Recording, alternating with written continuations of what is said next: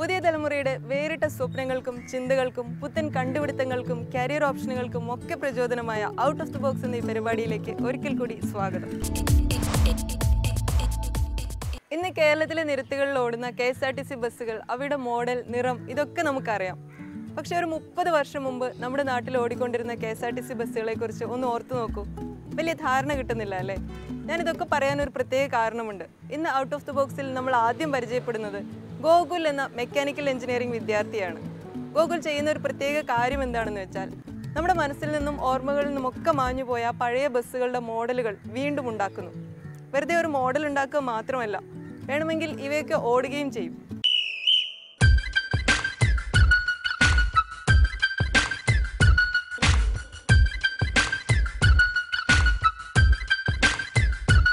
Hi എന്റെ പേര് ഗോകുൽ. ഞാൻ പി എ അസീസ് കോളേജിലെ നാലാം വർഷ വിദ്യാർത്ഥിയാണ്. മെക്കാനിക്കൽ ആണ് ഞാൻ പഠിക്കുന്നത്. ഞാൻ കുട്ടിക്കാലം മുതലേ മുതലേ തന്നെ എനിക്ക് ബസ്സിനോടൊരു പ്രത്യേക ഇഷ്ടമുണ്ടായിരുന്നു. ഇപ്പോൾ ഓരോരുത്തരും അവരുടേതായിട്ടുള്ള താല്പര്യമാണല്ലോ ഡെവലപ്പ് ചെയ്തെടുക്കുന്നത്.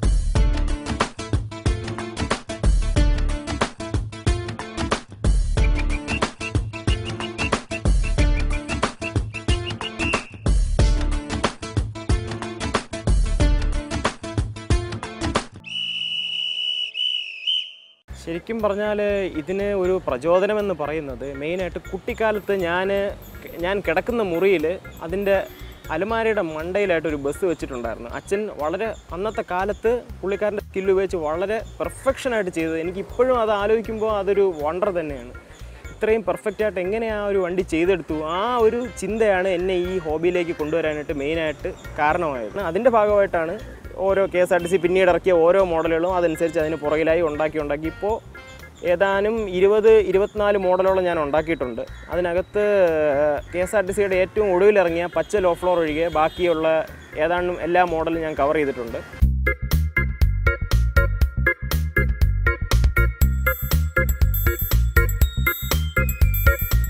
ഇൻബോണായിട്ട് അയാൾക്കെന്തോ ഈ വാഹനങ്ങളോട് പിന്നെ പ്രത്യേകിച്ച് ബസ്സുകളോടൊരു താല്പര്യം.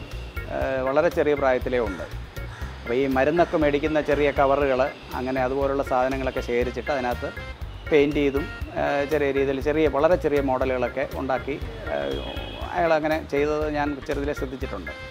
പിന്നെ നമ്മൾ അതിനോടൊരു പ്രോത്സാഹനം കൂടെ കൊടുത്ത് പഴയ കാലത്തെ ബസ്സുകൾ അതിനെപ്പറ്റിയൊക്കെയുള്ള ഒരു ബോധമായൊക്കെ ഉണ്ടാക്കാൻ ഞാൻ സഹായിച്ചിട്ടുണ്ട്.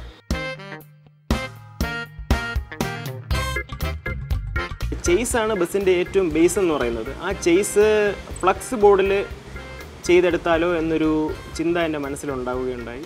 അപ്പോൾ ഞാൻ ഫ്ലക്സിന്റെ ബോർഡ് പല സ്ഥലങ്ങളിൽ നിന്നുമായിട്ട് സംഘടിപ്പിച്ചു. അത് കട്ട് ചെയ്ത് ചെയ്സ് ഉണ്ടാക്കി. ആ ചെയ്സിൽ പിന്നീട് സാധാരണ ബൈൻഡ് കട്ട് ചെയ്ത് അതിൽ വണ്ടിയുടെ ബോഡി ചെയ്ത് പിന്നീട് അതിനകത്തുള്ള സീറ്റ് മുതലായ ഓരോ ഡീറ്റെയിലും അതിന്റെ ഡീറ്റെയിൽ അതിന്റേതായിട്ടുള്ള രീതിയിൽ അത് ചെയ്തെടുത്ത് പിന്നീട് അതിന്റെ പുറത്ത് റൂഫ് വെച്ച് അടച്ച് അങ്ങനെ ഒരു പെർഫെക്ഷൻ പിന്നീട് വരുത്തിയെടുക്കുകയാണ് ഉണ്ടായത്.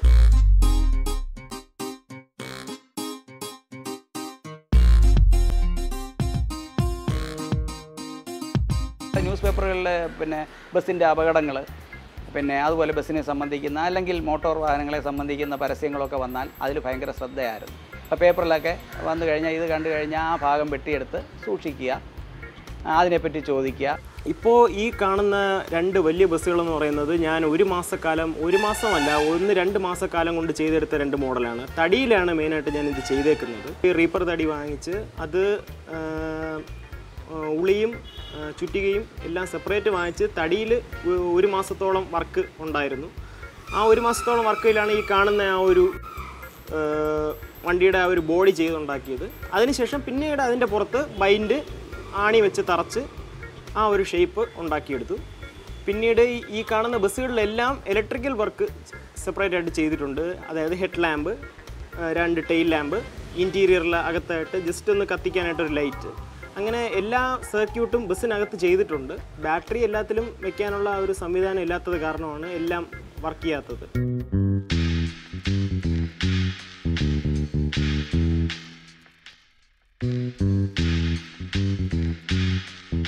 ട്രെയിലർ ബസ്സിനെ സംബന്ധിച്ചിടത്തോളം യാതൊരു ഐഡിയയും ഇല്ലാത്തൊരു മോഡലായിരുന്നു. അച്ഛന്റെ കയ്യിലുണ്ടായിരുന്ന ഒരു പടം വളരെ വർഷങ്ങൾക്ക് മുമ്പുള്ള ഒരു ന്യൂസ് പേപ്പർ കട്ടി. അതിൽ നിന്ന് ഡെവലപ്പ് ചെയ്തെടുത്തൊരു മോഡലാണ് ഈ ട്രെയിലർ ബസ്. ട്രെയിലർ ബസ് എന്ന് പറയുമ്പോഴത്തേക്കും നമ്മൾ ഈ വലിയ ഇപ്പോൾ കാണുന്ന കണ്ടെയ്നർ ലോറി പോലത്തെ വലിയ ഒരു ഒരു കെ എസ് ആർ ടി സിയുടെ ഒരു മോഡലായിരുന്നു. അതിന് നല്ല നീളമുള്ള ഒരു ബോഡിയും ഫ്രണ്ടിൽ തിരിയുന്ന ഒരു തലയുമാണ് ഉണ്ടായിരുന്നത്. ഏതാണ്ട് ഇപ്പോൾ ഇരുപത് ഇരുപത്തിരണ്ടോളം മോഡലുകൾ എന്റെ കയ്യിൽ കൈവശമുണ്ട്.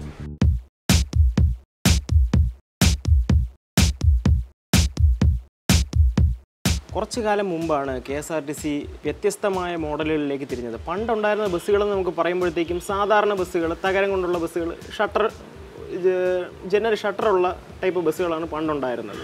പക്ഷേ ഇപ്പോൾ പിന്നീട് വന്നപ്പോഴത്തേക്കും കണ്ണാടി നീക്കാൻ പറ്റുന്ന മോഡൽ അങ്ങനത്തെ ബസ്സുകൾ fully covered air conditioned buses ഇപ്പം ഇതൊക്കെ വന്നപ്പോഴേക്കും നമ്മുടെ പഴയ ബസ് നിർമ്മാണ രീതിയിൽ ഒരുപാട് വ്യത്യാസങ്ങളുണ്ടായി.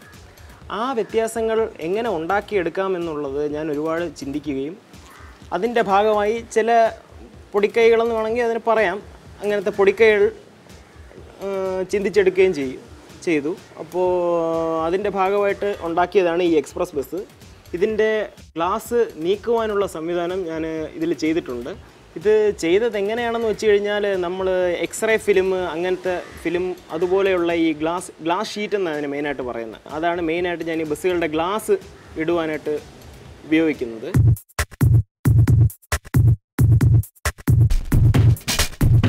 ഒന്ന് തൊട്ട് നാല് വരെ A G M S Karyavattom എന്ന സ്കൂളിലാണ് പഠിച്ചത്. അത് കഴിഞ്ഞ് ഞാൻ പിന്നീട് സെന്റ് മേരീസിലേക്ക് മാറി. Pattom saint Mary's. അവിടെ ഒരു നാലും അഞ്ചും അവിടെ പഠിച്ചതിന് ശേഷം ഞാൻ സെന്റ് തോമസിലേക്ക് പോയി. അവിടെയും ഈ എക്സിബിഷൻ മുതലായ അങ്ങനത്തെ കാര്യങ്ങൾക്ക് അന്ന് ഇത്രയും ഡെവലപ്ഡ് ആയിട്ടുള്ള വർക്കൊന്നും എന്റെ ഇല്ലായിരുന്നു. പക്ഷേ ഉള്ള വർക്ക് ഞാൻ അതിന്റേതായിട്ടുള്ള രീതിയിൽ കൊണ്ടുവച്ചു. എനിക്ക് സ്റ്റേറ്റ് ലെവലിൽ ഫസ്റ്റ് പ്രൈസ് രണ്ട് പ്രാവശ്യവും തേർഡ് പ്രൈസ് ഒരു പ്രാവശ്യവും കിട്ടിയിട്ടുണ്ട്. വർക്ക് എക്സ്പീരിയൻസ് എക്സിബിഷന് പിന്നീട് ഇത് വീണ്ടും വരുന്നത് എങ്ങനെയെന്ന് വെച്ച് കഴിഞ്ഞാൽ കെ എസ് ആർ ടി സിയുടെ കെസ്ക എന്ന് പറഞ്ഞൊരു സംഘടനയുണ്ട്. അവരുടെ മെമ്പർ വർക്കേഴ്സിന്റെ ഒരു യൂണിയനാണ്. അവർ ഈ തിരുവല്ലയിലോ ഏതോ മറ്റോ ഏതോ ഡിപ്പോ പുതുതായിട്ട് തുടങ്ങുന്നതിന്റെ ഭാഗമായിട്ട് ഒരു K S R T C ഒരു എക്സിബിഷൻ വെച്ചു. അതിനാണ് മെയിനായിട്ട് ഈ ബസ്സുകൾ വീണ്ടും കുറേ നാൾക്ക് ശേഷം അവർ അത് കൊണ്ടുപോയി എക്സിബിഷന് വെക്കുകയും എല്ലാവർക്കും ഇഷ്ടമാവുകയും ഒരുപാട് ഫീഡ്ബാക്ക് ഒക്കെ കിട്ടുകയും ചെയ്തു.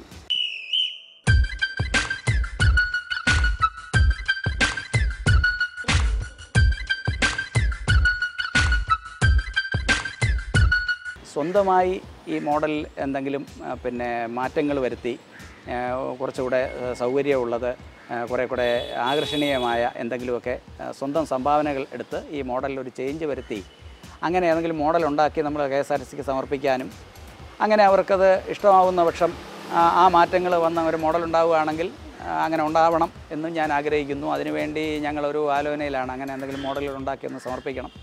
അതിനൊരു അംഗീകാരം നേടിയെടുക്കണം എന്നൊക്കെയാണ് മനസ്സിലൊരു കണക്കൂട്ടലും ആഗ്രഹവും ഉള്ളത്.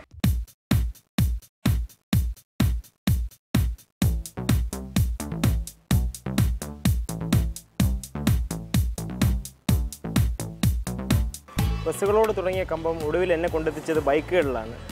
ഇപ്പോൾ ഞാൻ വണ്ടിയുടെ ഗ്രാഫിക് ഡിസൈനറായിട്ടാണ് മെയിനായിട്ട് എന്റെ ടൈം സ്പെൻഡ് ചെയ്യുന്നത്. വണ്ടിയിൽ പ്രൊജക്ടർ വർക്ക് ഏഞ്ചലൈ വർക്ക് വണ്ടിയുടെ ഇതേ കാണുന്നത് പോലെയുള്ള ചെറിയ ചെറിയ ഗ്രാഫിക്സ് വർക്കുകൾ പിന്നെ ആൾട്രേഷൻ വർക്കുകൾ എന്നൊക്കെ എന്നിങ്ങനെ പലർക്കായിട്ടും ഫ്രണ്ട്സിനായിട്ടും അല്ലാതെ പുറത്തായിട്ടും ഞാൻ ഒരുപാട് ചെയ്ത് കൊടുക്കുന്നുണ്ട്. പിന്നീട് പറയുമ്പോൾ ഇപ്പോൾ ഈ കാണുന്ന വണ്ടി പലർക്കും കാഴ്ചയിൽ ടു ട്വന്റി ആണെന്ന് തോന്നും. ആക്ച്വലി ഇതൊരു ടു ഹൺഡ്രഡ് ആണ്. ഇതിനെ ഫുള്ളി ആൾട്രേറ്റഡ് ആക്കി ഞാൻ ടു ട്വന്റി ആക്കി മാറ്റിയതാണ്. ഫ്രണ്ട് ഫെയറിങ് പീസുകൾ ബാക്ക് റിയർ ഡിസ്ക് അങ്ങനെ മൊത്തത്തിൽ മൊത്ത ആൾട്ടർ ചെയ്ത് ടു ട്വന്റി ആക്കിയേക്കുകയാണ്. ഞാൻ ഇവിടെ X B H P dot com cops club of Pulsarians team D R D C എന്നീ മൂന്ന് ടീമിലായിട്ട് അവരുടെ ആക്ടിവിറ്റീസിൽ ഇൻവോൾവ് ആയിട്ട് വർക്ക് ചെയ്യുന്നുണ്ട്. ഇപ്പോൾ നിലവിലുള്ള ബസ്സുകൾക്ക് അവയുടെ മോഡലുകളിൽ മാറ്റങ്ങൾ വരുത്തി പുതിയ മോഡലുകൾ ഗവൺമെന്റിന് സമർപ്പിക്കാനാണ് ഗോകുൽ ആഗ്രഹിക്കുന്നത്. ഒപ്പം തന്നെ പഴയ മോഡൽ ബസ്സുകൾ ഇന്നത്തെ പുതിയ തലമുറയ്ക്ക് പരിചയപ്പെടുത്താനും. മോഡൽ മേക്കിംഗ് വിദേശത്തൊക്കെ വളരെ പോപ്പുലറായ ഒരു കാര്യമാണ്. ഇന്ത്യയിൽ അത്ര പോപ്പുലർ അല്ലെങ്കിലും ഗോകുലിന്റെ ഈ കഴിവിന് എല്ലാ ആശംസകളും ഔട്ട് ഓഫ് ദി ബോക്സ് നേരുകയാണ്. ഇനി ഒരു ഇടവേളയാണ്. ഇടവേളയ്ക്ക് ശേഷം നമുക്ക് പുതിയ കൂട്ടുകാരെ പരിചയപ്പെടാം.